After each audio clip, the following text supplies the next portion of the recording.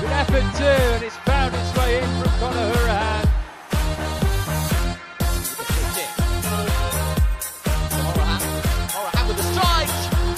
what a fabulous way to double Aston Villa's advantage. Villa on top. Davis again.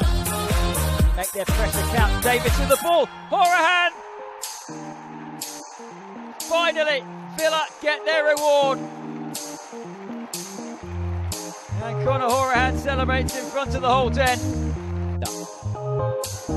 It's Hourihane deflected and in. Villa's two goal cushion restored.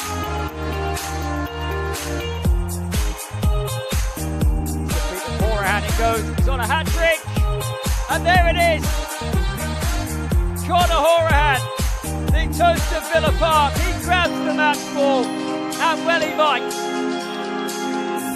Fantastic individual display. And Villa surely have wrapped up the point.